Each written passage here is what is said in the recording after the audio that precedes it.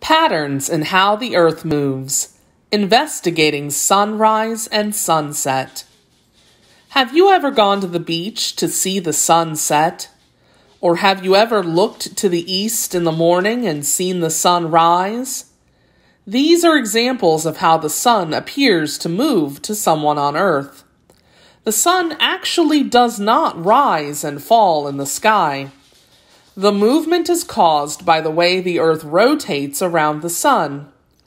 It looks like the Sun moves across the sky during the day, but it is actually the Earth moving on its axis.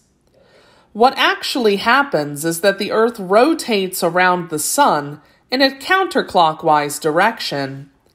The Sun actually appears to rise and set because of the Earth's rotation on its axis. It makes one complete turn every 24 hours, which is equal to one day. As your town turn t- turns toward the sun, it looks like the sun is rising in the east. As your town turns away from the sun, it looks like the sun is setting in the west.